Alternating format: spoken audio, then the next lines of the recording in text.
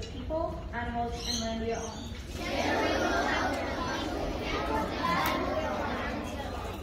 We pay our respects to elders past, present, and emerging.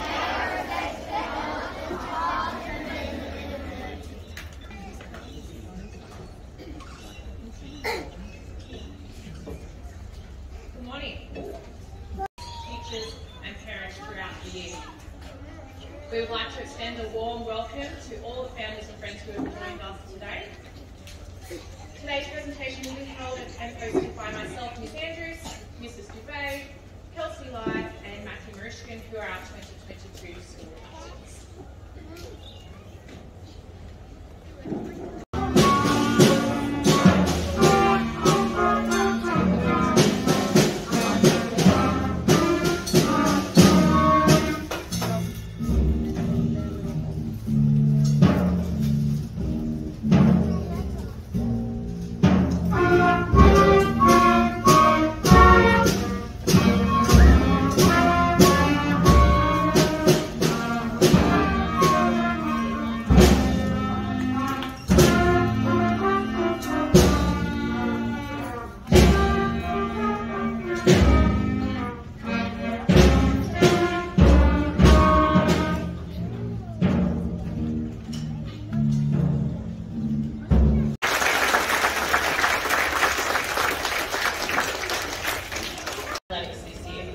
You represented our school with pride and demonstrated great sportsmanship. The following awards go to our age champions for swimming first, and then I'll announce the age champions for athletics. So the junior boys swimming champion for 2022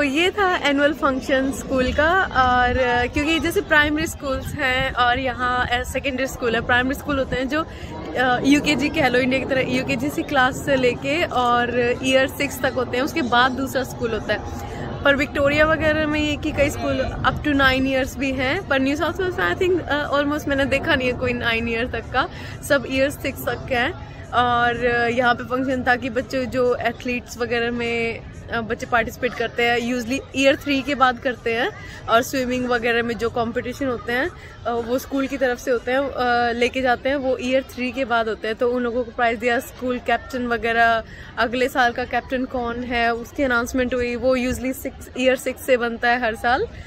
क्योंकि बड़ा बच्चा है वो discipline बच्चों को guide करने में और टीचर्स की हेल्प करने में भी वो आ, सही रहेगा। तो वो रीज़न भी होता है इसके आगे और just to build confidence because the student will pass to the secondary school that is good for them and अभी बस मैवरिक और ऐसे ऐसे ही ना इन्होंने डांस परफॉर्मेंस ही कर रखी थी मैं वीडियो डालती हूँ, पता नहीं क्योंकि कॉपीराइट वो साथ के साथ ना बैकग्राउंड म्यूज़िक भी डाल रखा था तो मैं ट्राई करूँगी अगर कॉपीराइट नहीं आया तो।